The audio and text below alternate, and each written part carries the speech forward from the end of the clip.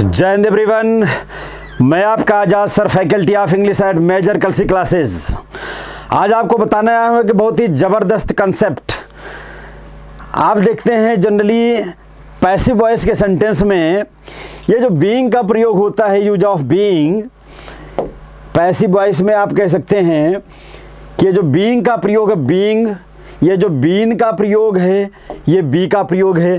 इसका कंसेप्ट क्या है?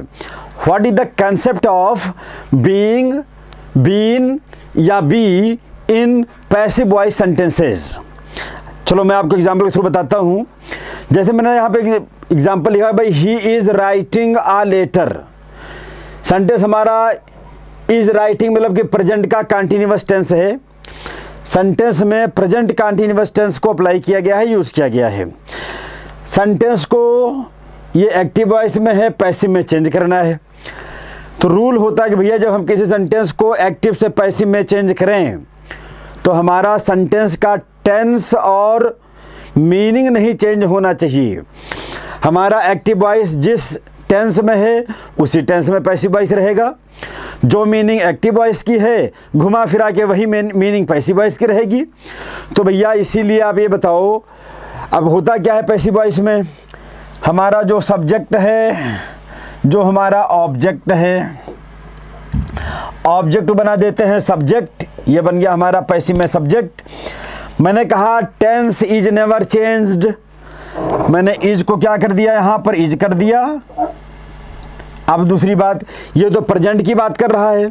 लेकिन यहाँ पर एक्टिव वॉइस में आया है वर्ब में आईएनजी वर्ब की आईएनजी फॉर्म बताती है एक्शन की कंटिन्यूटी यानी कि ये सेंटेंस हमारा कंटिन्यूस टेंस में है। अच्छा पैसे में क्या करते हैं जो एक्टिव वॉइस की मेन वर्ब होती है? यहाँ पर ये क्या है ये? यहाँ पर ये मेन वर्ब है, नो डाउट। एक्टिव वॉइस की मेन वर्ब को हम चेंज कर देते हैं किसमें? उसको बना देते हैं पास्ट पार्टिसिपल उसी के थर्ड फॉर्म में कन्वर्ट कर दिए।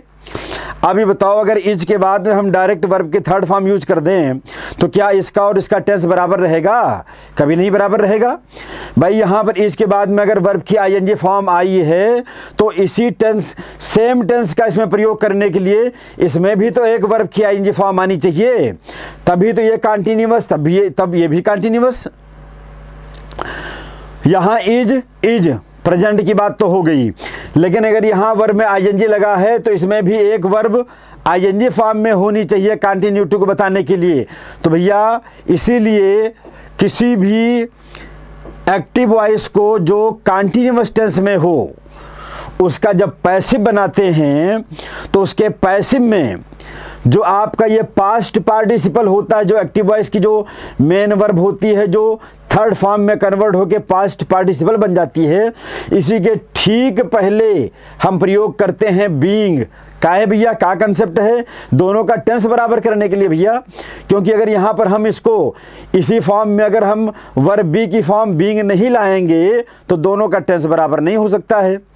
तो भैया एक्टिव और पैसिव के टेंस को बराबर करने के लिए सभी कॉन्टीन्यूस टेंसेज के पैसिव वॉइस सेंटेंस में पास्ट पार्टिसिपल के पहले बीइंग का प्रयोग किया जाता है। दिस इज़ द कंसेप्ट ये वर्ब बी की चौथी फॉर्म है।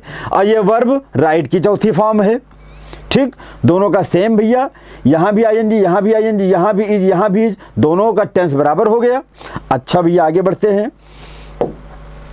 अब देखो। अब आप बोलोगे, भैया, ये बीन का है यूज़ होता है। यहू जान लो भैया।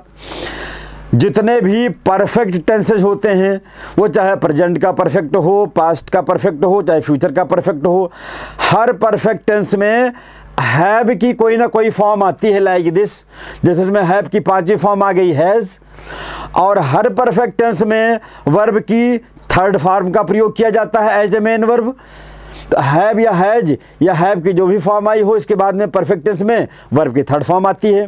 तो ये काय भैया ये यहाँ पर है वर्ब की थर्ड फॉर्म है अंडरस्टूड है का ई मेन वर्ब भी है मेन वर्ब अब देखो। वही कंसेप्ट सेंटेंस एक्टिव वॉइस में है। यहाँ पे आपका ऑब्जेक्ट हो गया।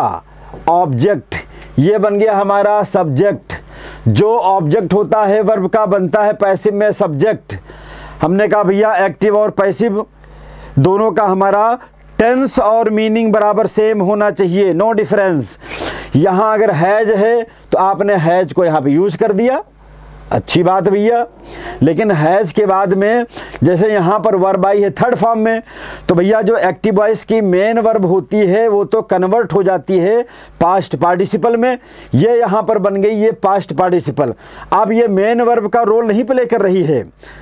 तो हमको भैया दोनों सेंटेंस का टेंस बराबर करने के लिए, जैसे यहाँ हैज़ के बाद में वर्ब की थर्ड फॉर्म आई है रिटर्न राइट की थर्ड फॉर्म रिटर्न वैसे ही हमको हैज़ के बाद में एक वर्ब थर्ड फॉर्म में लाना होगा।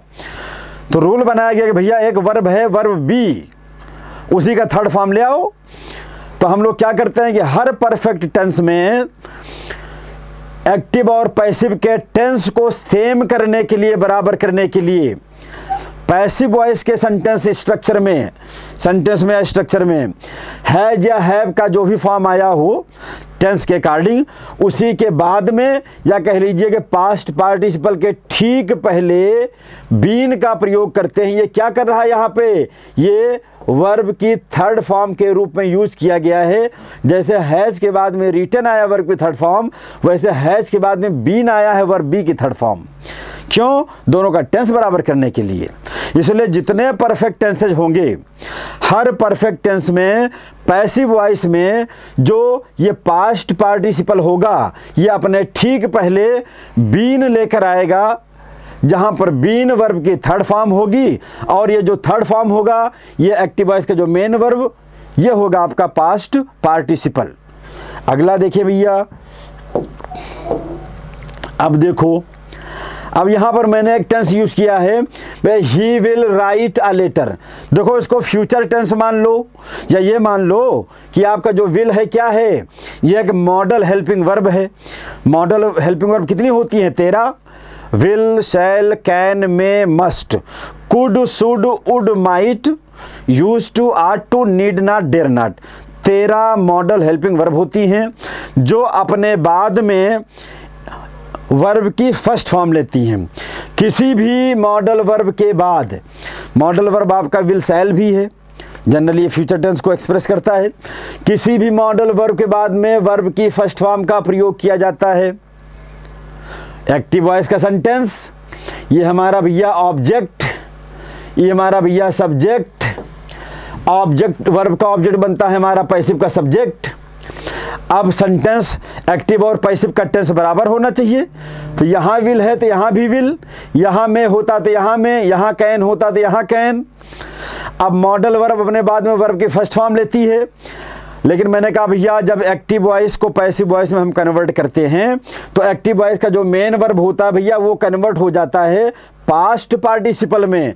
यानी कि एक्टिव वॉइस का मेन वर्ब थर्ड फॉर्म में कन्वर्ट हो जाता है, जिसको हम बोलते हैं पास्ट पार्टिसिपल अब क्योंकि हमको दोनों का टेंस बराबर करना है, और मॉडल वर्ब के बाद में वर्ब की फ़र्स्ट फॉर्म आती है, और यहाँ तो ये थर्ड फॉर्म आ गई।